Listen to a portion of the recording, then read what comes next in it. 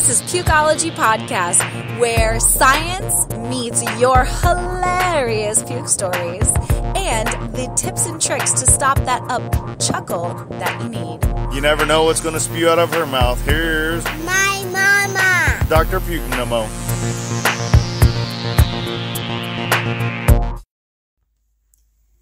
So, your uterus is just one organ group that will see lots of changes during your pregnancy.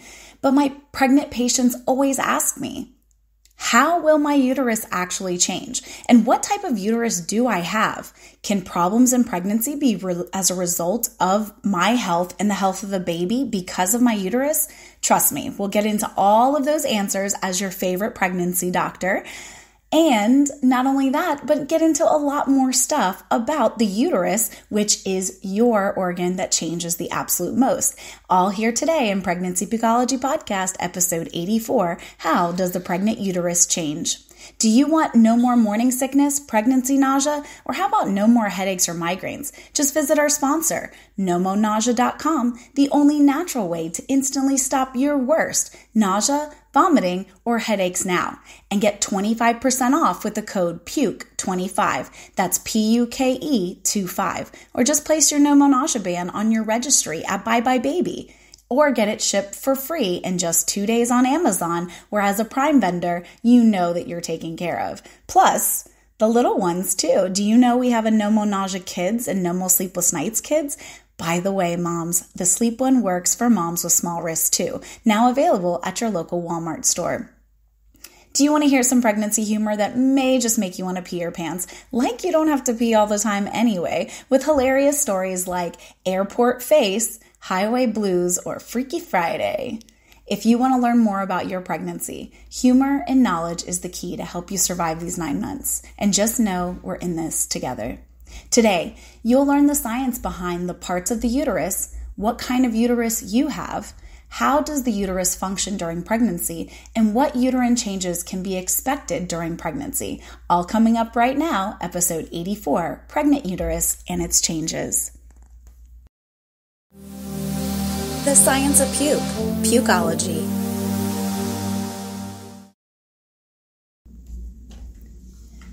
So, what does the uterus actually do? Well, the uterus is one of the most vital organs that play a significant role in the female reproductive system.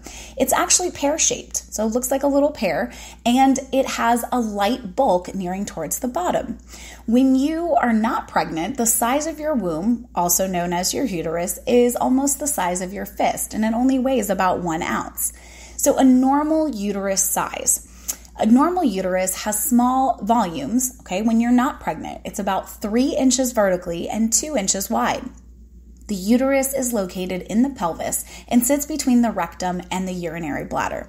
The various components provide support to your uterus, and that includes your pelvic floor muscles, your ligaments, and your perineal body. So I know this sounds like an anatomy class, and I promise I don't mean it to, but you have to figure out what the womb is in order to understand what it does. So the womb, also known as the uterus, are parts of the uterus, and these are these parts. Number one, you'll hear things called the cervix, right? This is the lowermost part of the uterus, and it acts like a gate which dilates and allows your baby to actually pass through the vaginal delivery.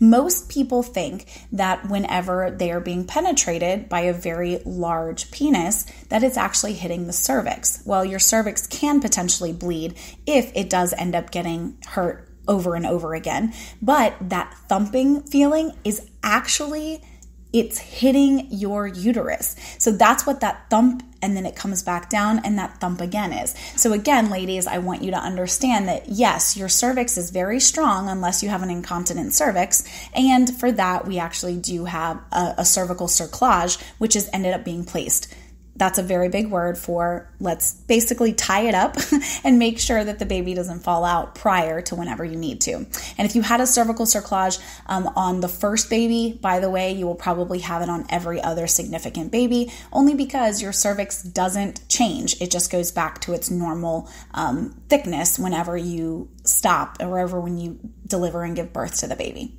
All right, so we already talked about the cervix. Um, that's actually where the baby will actually pass through. It kind of looks, we, we call it like the one eyed monster, right? So as you go up the vaginal canal, that's what you would actually see whenever your OBGYN or your GYN takes a look um, with the duck-billed platypus, right? With the actual speculum. And then with that speculum, that's what we're taking a look at. And if you've ever had it tested, um, that's what they're doing the scraping of the actual cervix. Now, the body, this is also called the corpus.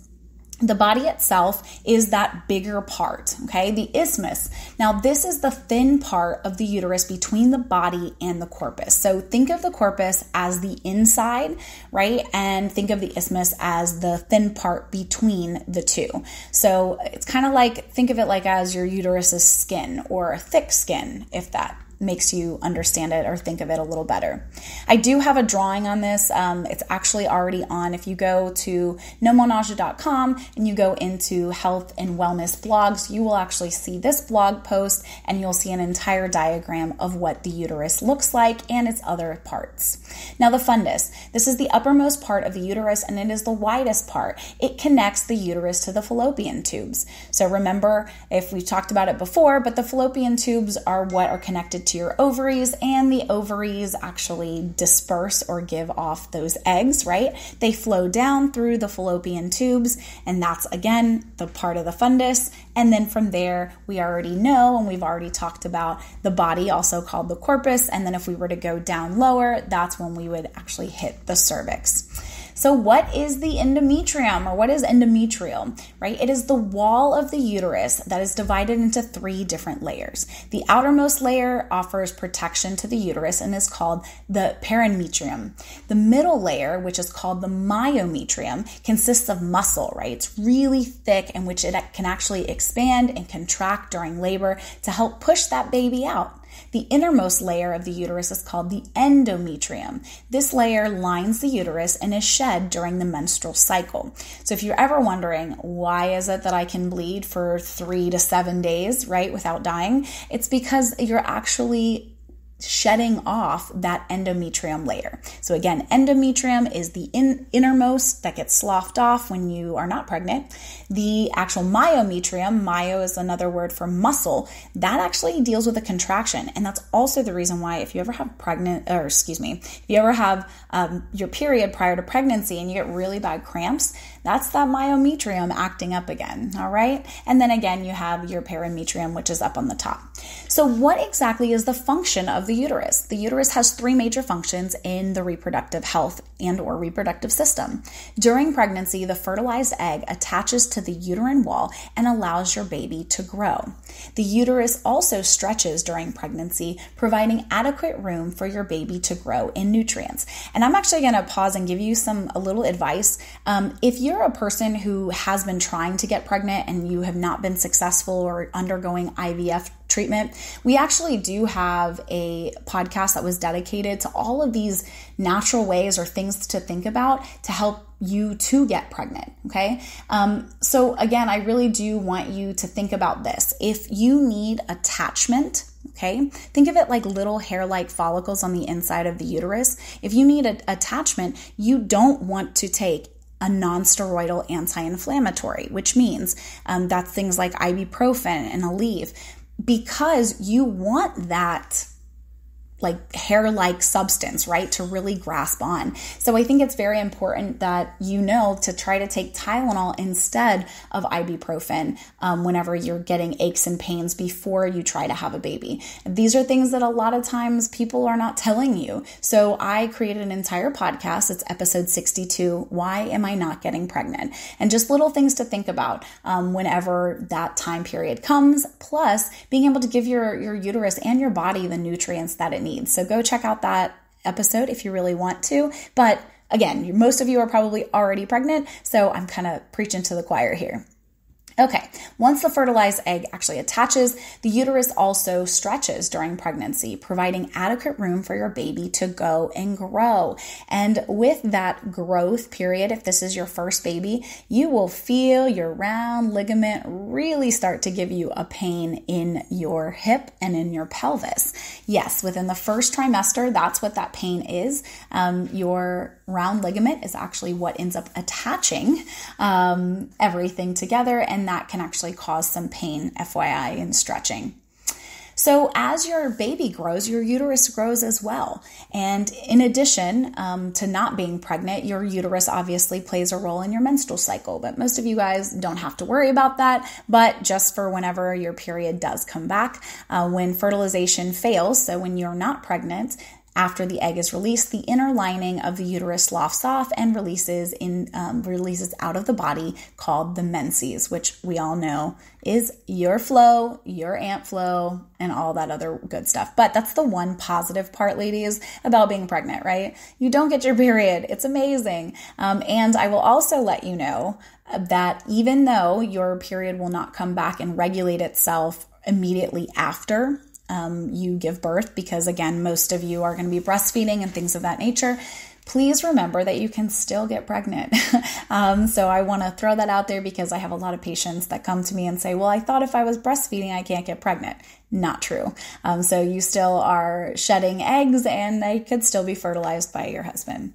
All right, your uterus also has a reflex. It's called the vasovagal. When it's tugged or pulled, and it's what's connected to the vagus nerve, which is a part of your parasympathetic system. So, your parasympathetic system controls the relaxation part, right? Your heart rate may drop significantly, and you might have um, your heart rate might drop with intense contractions because it is pulling at that vagus nerve and or the pulling and tugging during the c-section okay a lot of times um, women will actually know exactly when their uterus is being picked up and manhandled um, during a c-section because their first response is to get sick. So I don't want you to get sick. Um, please make sure that you go grab a no more nausea ban at any of the retail locations like Walmart or CVS or Bed Bath and Beyond or Meijer drugstore, all those other places um, before you actually deliver. Most 175 different hospital systems will have no more nausea um, Med Plus bans for you pregnant women, but I can't guarantee in any um, in any and all hospitals that you deliver in. So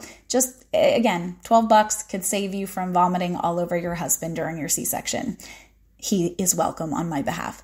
All right, so this is um, usually the most common reason for 80% of women to experience nausea and vomiting during delivery. This is both for vaginally and for C sections because of that tugging and the pulling of the uterus. And when you are de- delivering vaginally and you give a really good grunt, right, you are really making sure that you're intensely pushing that baby out. That can cause a vasovagal as well.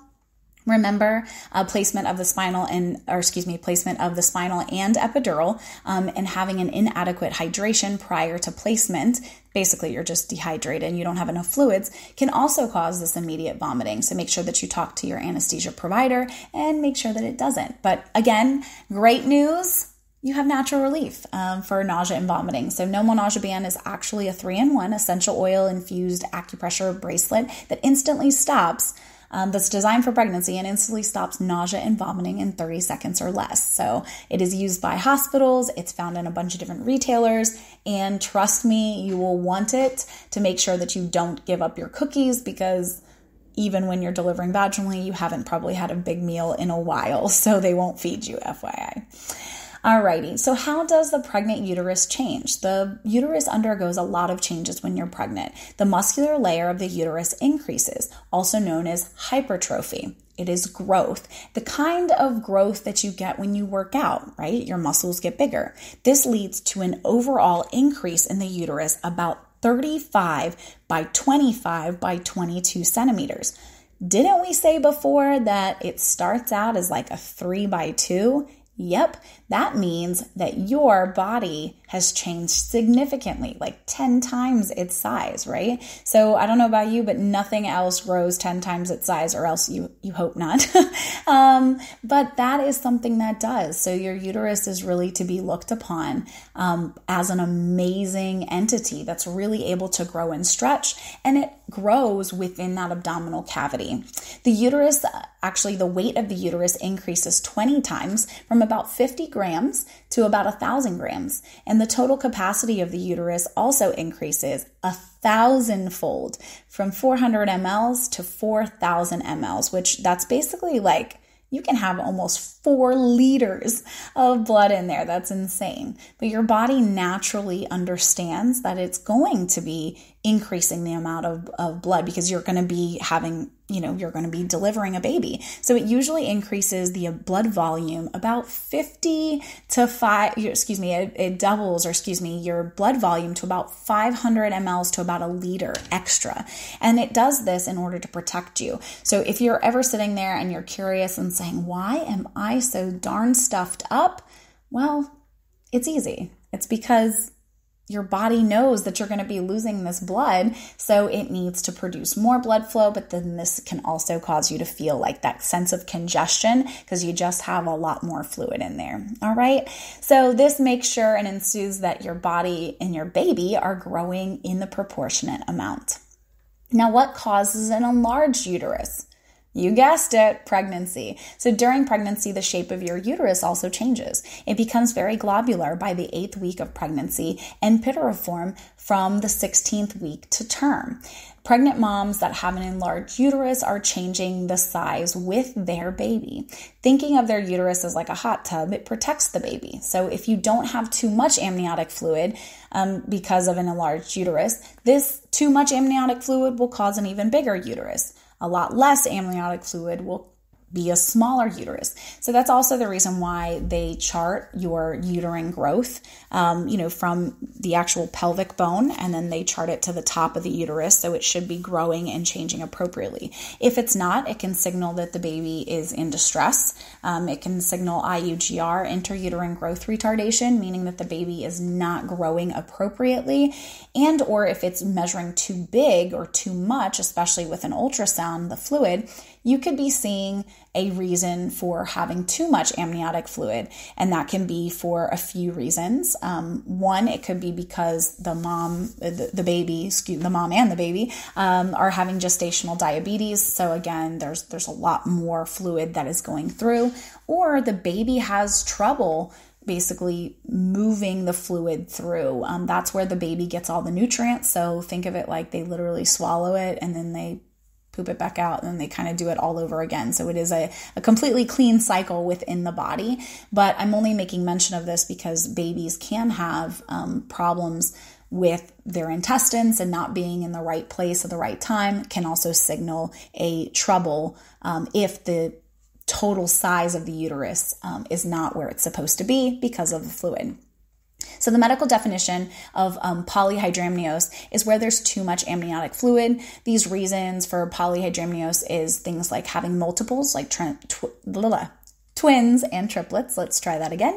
And gestational diabetes because the babies will be larger. And a blockage in the baby's gut, like we talked about before. This is called gut atresia. Um, pregnant women with polyhydramnios may experience premature contractions, longer labor, difficulties in breathing, and so much more. So we just want to make sure that you babies and moms are well taken care of. Now let's look at the positions of the uterus and then I can tell you what kind of uterus that you have. The uteruses that are anteverted. Most women have an anteverted uterus. The uterus is slightly tilted towards the cervix, pointing towards the belly. However, some women have their uterus in different position. That includes a retroverted uterus, by which the uterus tilts backwards, anteflex uterus, in which the uterus curves forward to the extent that it puts more pressure on your abdomen and bladder, causing pain. And then a retro flexed uterus is the uterus that bends more towards the back, causing pressure on your lower back. So, um, if you had, or excuse me, if you have a uterus that is different than most, which is an anteverted uterus, you will experience labor in very various different ways. Okay, um, so I had that back pain, and also my I actually my uterus was in front. Um, so I was not a candidate for a version. And so again, a version is when you know that you're getting a C-section and you want um, the baby to end up flipping. Unfortunately, I was not a candidate for that, but you may be, um, and or you may be a person or a mommy who has had a C-section in the past and is looking for a a different way, right? You want to try it naturally. If that's the case, um, and I don't mean naturally as in no medication, I mean naturally as in to go through the vagina um, the way that it was kind of intended. But if you are one of those women, um, there is hope, right? You can find OBGYNs that are comfortable performing a VBAC. And a VBAC is a vaginal birth after a cesarean section. And if you're curious as to what is that, how can I actually, um, you know, how can this happen and what do I need to do for it, you can always go and search or you can always go take a look at our other um, you can take a look at our other podcast and it's episode 21 it's called what is a vbac right? It's everything that you need to know about what a vbac is. So i know that was a lot of medical definitions. I am usually not that person. I'm usually much more with the humor side. So let's get to some really funny puking pregnancy stories because we all have them. Let's be real. We've all gone through that first trimester morning sickness. Coming up right now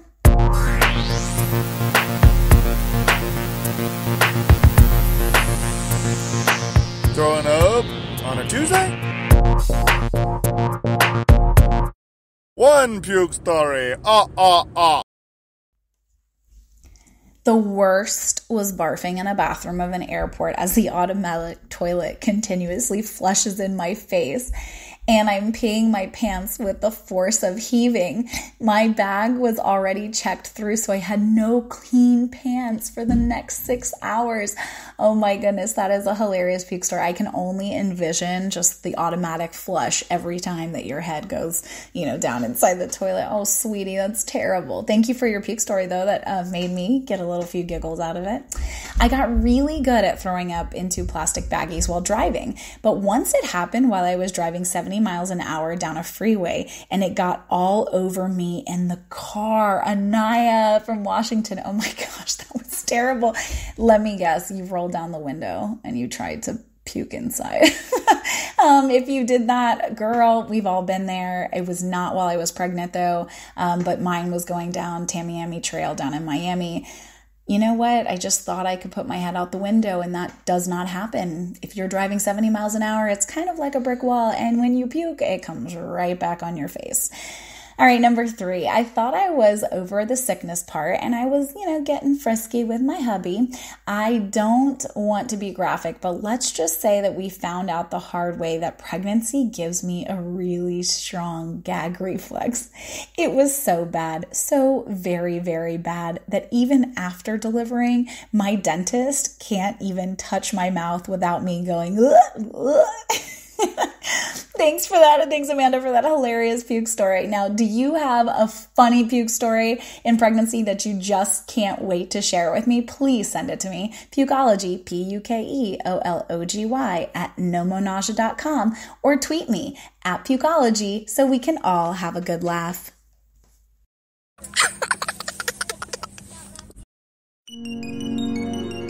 Tips and tricks to stop the up chuckle that you need.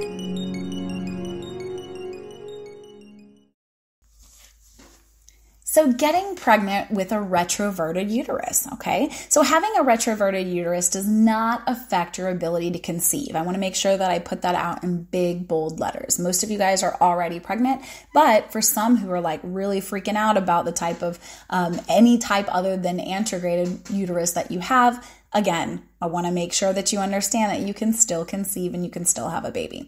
However, your ability to conceive may be affected if the retroverted uterus is caused by other conditions, things like a fibroid, a uterine fibroid, endometriosis, or pelvic inflammatory disease. In addition, retroverted pregnancy does not affect the ability of your or the viability, excuse me, of your baby. So your baby is okay as long as it's inside the uterus, but you may experience some urinary incontinence incontinence or difficult passing urine and low back pain because getting pregnant with a retroverted uterus exerts pressure on your bladder and on your low back.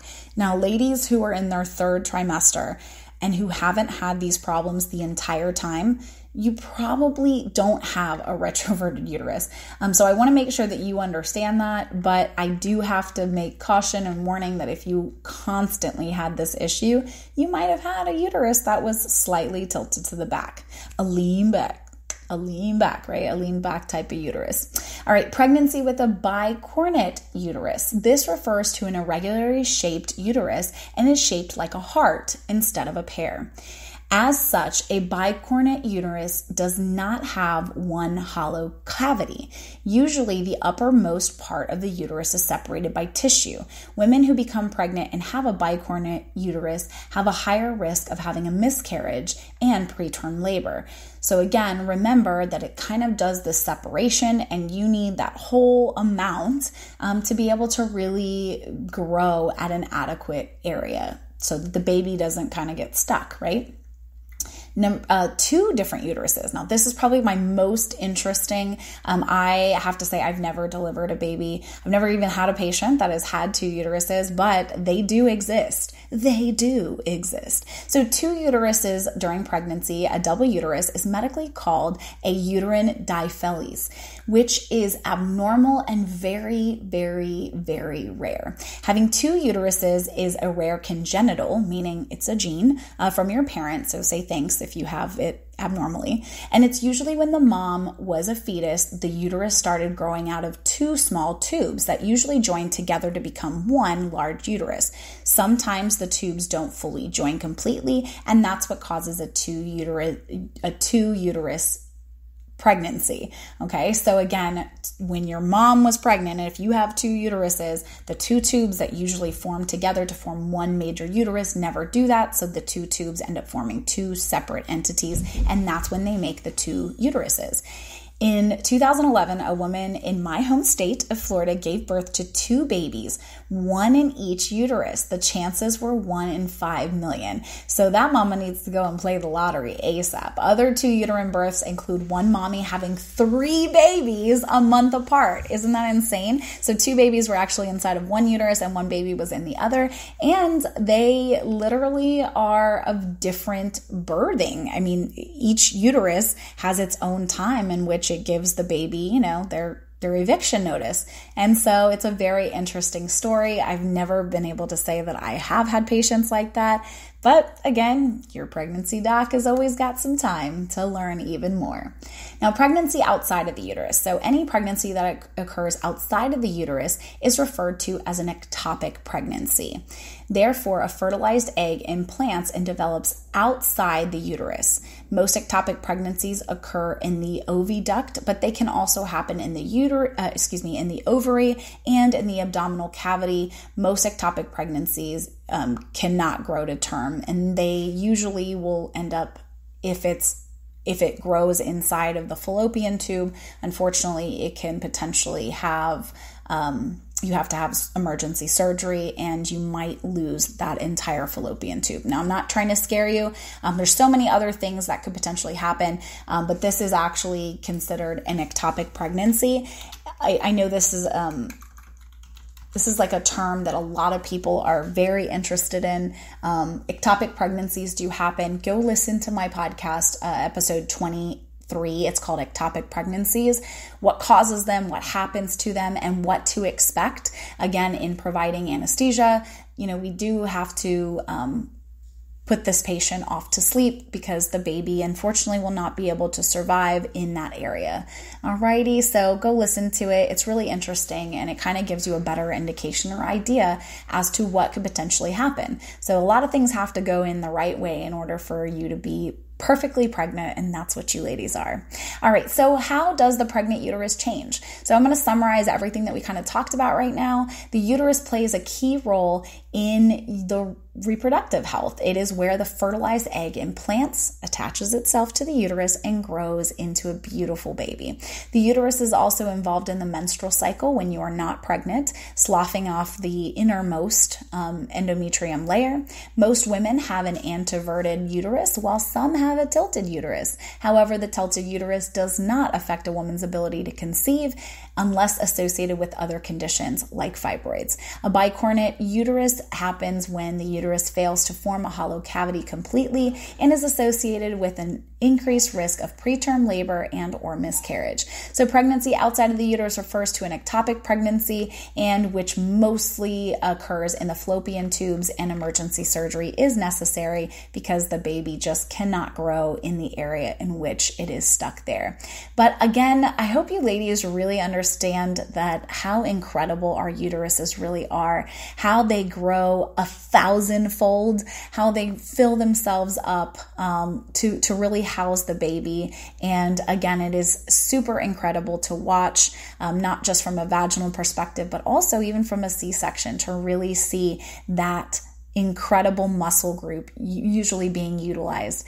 Remember that Pitocin is hung, uh, not just previously prior to delivery, but also afterwards to really make sure that we get all of that blood squeezed out um, and, and everything squeezed out of the uterus so that you will have a wonderful fourth labor. Um, and the fourth labor is is the delivery of the placenta and really getting everything back to normal now, you guys have learned all about the uterus. You've learned about what kind of uterus you have, how does it function, what to expect during pregnancy, and all of these changes in your trimester. I hope that you've absolutely loved it and given, um, give me some hearts, right? Give me some likes. So, Pregnancy Pukeology Podcast, let me know that you love me and everything that I have to offer with pregnancy with five star ratings or hearts for likes. Don't forget to download this episode, but more importantly, share it with all your prego friends. Thanks again for listening to